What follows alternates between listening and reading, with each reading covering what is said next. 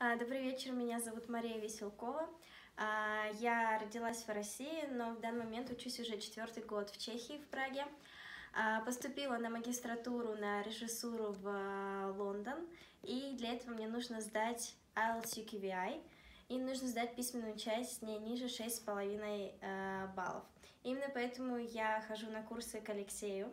У него очень хорошо структурированные занятия, всегда все понятно, очень хорошо объяснено. Э, грамматика, лексика, мы проходим различные, эм, мы проходим всю базу английского языка, все вспоминаем, нарабатываем новую лексику и грамматику. И хочу сказать большое спасибо за такие интересные занятия и возможность потянуть английский для IELTS.